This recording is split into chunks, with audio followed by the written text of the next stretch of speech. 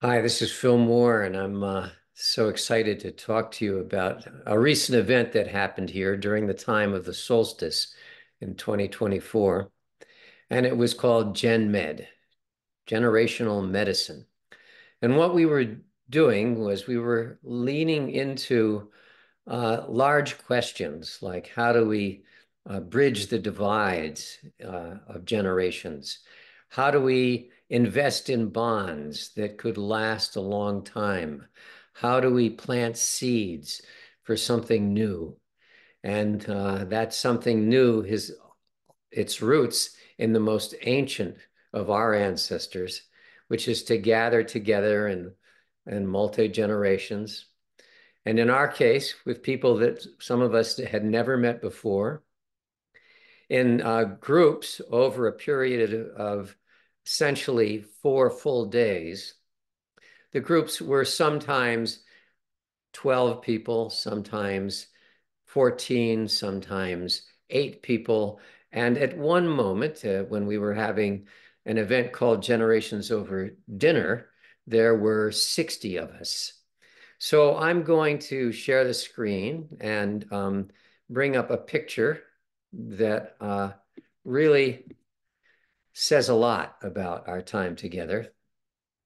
And this is um, just one of the saunters. So what you do in Gen Medicine, instead of taking hikes, you take the advice of Henry David Thoreau and you go on this little quiet walk in the natural world.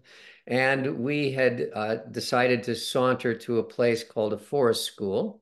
And this is where we are at this moment. We're in the forest school. And you can see the children. There are several of them. What you can't see is that one of the members of our group is pregnant and about to have a child, well, within the next month. And um, and then we have seniors, of course. There's uh, two baby boomers in there, and uh, well, actually three. And there's uh, millennials, and uh, and here we are having an important experience because play is absolutely central to Gen medicine.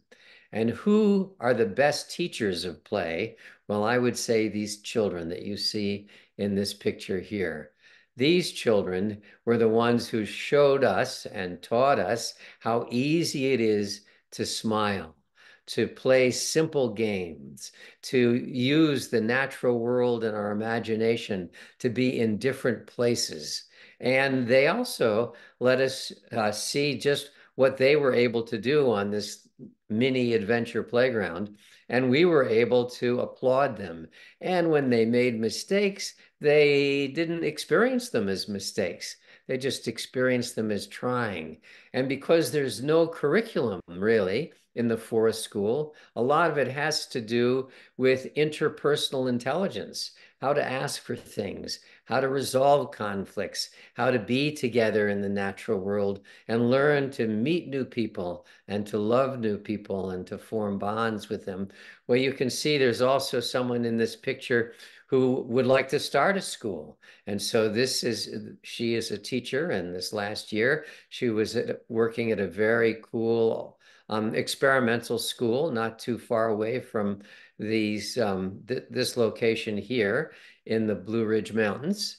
And, um, and so she's contemplating, what about next year? And so you can see the medicine is really in the eyes and the smiles of the people in this photo.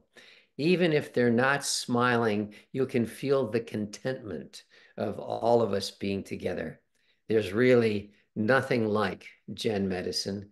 It's an antidote to being on screens, and it's an antidote to the loneliness and difficulties and traumas that we experienced during the during the pandemic. And so we hope that uh, a little message like this inspires you to connect with people of all generations and all decades. Thank you for uh, for being a part of our share and a part of our GenMed group.